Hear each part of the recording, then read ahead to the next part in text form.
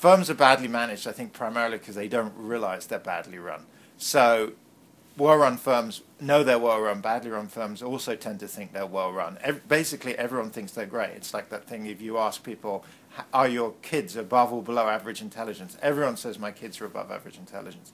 And why don't badly run firms realize it? Typically, they're in uncompetitive markets, uh, often having subsidies, often facing other badly managed firms.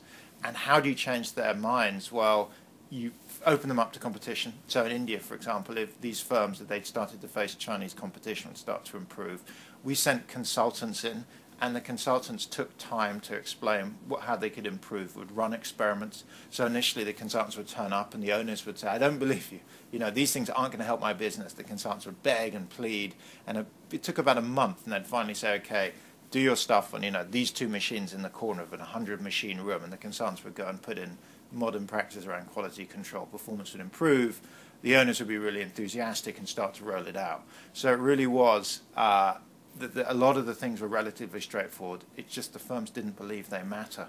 And history is full of examples like this. The American car industry, uh, Ford, you know, Chrysler and um, GM suffered badly facing Japanese competition because they didn't believe Japanese management practices matter, and it took decades of losses until they finally changed their mind. So I think belief is the most important thing, and changing people's beliefs is really the way to improve management.